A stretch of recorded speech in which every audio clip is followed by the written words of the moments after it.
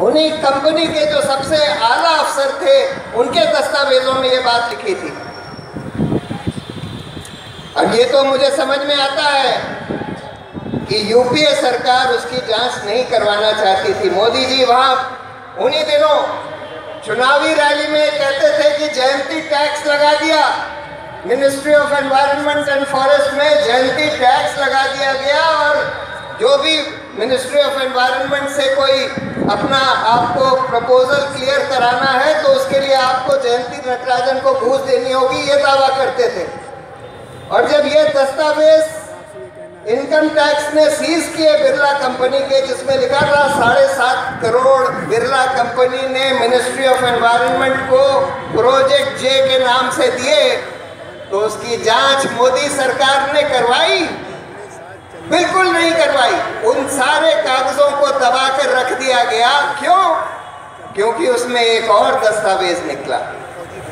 उस बिरला कंपनी का जो चेयरमैन था, जो ग्रुप प्रेसिडेंट था, शुभेंदु अमिताभ, उसके ईमेल में एक ईमेल निकला जिसमें लिखा था, गुजरात सीएम 25 करोड़, और ब्रैकेट में लिखा था 12 करोड़ तो दे दिए गए और बाकी पर प्रश्न चिन्ह लगाया हुआ था।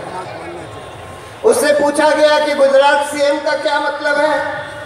तो कहने लगा कि वो गुजरात सीएम का मतलब है गुजरात एल्कली एंड केमिकल उसका कोई लेना देना नहीं मतलब बिरला की कंपनी से गुजरात एल्कली केमिकल का कोई लेना देना नहीं, ये बात एक मिनट में इनकम टैक्स डिपार्टमेंट पता लगा सकती। इनकम टैक्स डिपार्टमेंट ने बोला अपनी रिपोर्ट में कि भाई ये सब झूठ बोल रहे हैं ये लोग ये बात सही है क्योंकि 25 करोड़ रुपए नकद वहाँ से बरामद किए गए थे। और उन, उनके अफसर से जब पूछा तो उसने बोला कि हाँ हमारे पास हवाला डीलर्स के ज़रिए ये पैसे आते थे और हम बड़े बड़े अफसरों को शुभेंदु अमिताभ जो ग्रुप प्रेसिडेंट है बिरला का उसके कहने पर देने जाते थे।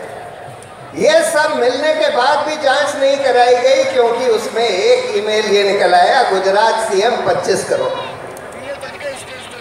उसी तरह से सहारा कंपनी में रेड होती है और उसमें बहुत सारे दस्तावेज़ पकड़े जाते हैं। एक दस्तावेज़ में पूरा लिखा था। एक तरफ़ लिखा था कि कितना पैसा नकद कहाँ से आया, कितने कौन कौन सी तारीख में कितना कितना पैसा कहाँ से नकद आया।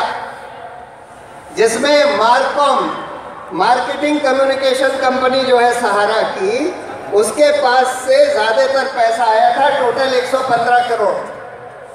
दूसरी तरफ़ लिखा था, ये रुपया किस किस को, किस किस दिन, कहाँ पर, किसके ज़रिए, किसके हाथ में, कौन रुपया लेकर गया? ये पूरा ब्यौरा लिखा था। उसमें करीब 50 एंट्री है।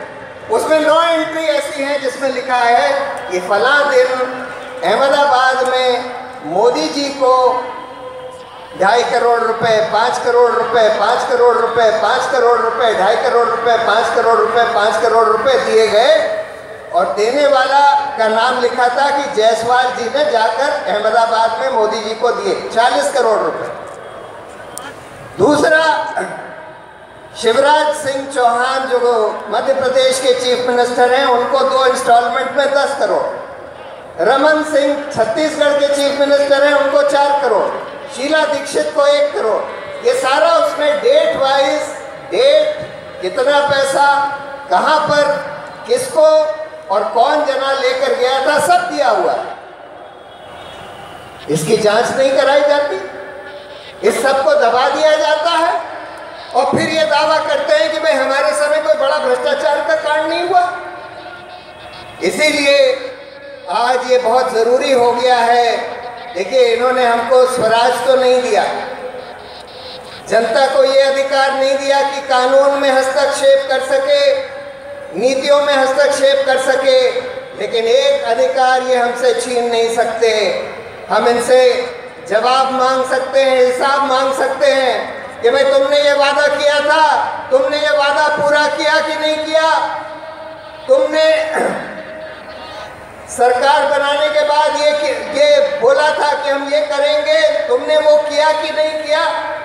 और ये जवाब और हिसाब मांगने के बाद अगले चुनाव में ये सारे जनता के पास हमको ले जाना चाहिए। ये आज हमारा दायित्व है कि हम इसका पूरा ब्यौरा लें कि इन लोगों ने क्या क्या वादे किए, कितने पूरे किए क्या क्या झूठ निकला?